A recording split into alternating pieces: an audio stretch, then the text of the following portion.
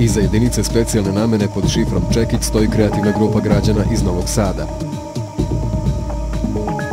U sobstvenoj radionici za proizvodnju slike i zvuka napravili su psihološko-propagandni kompleks za dejstvovanje po živoj potrošačkoj sili.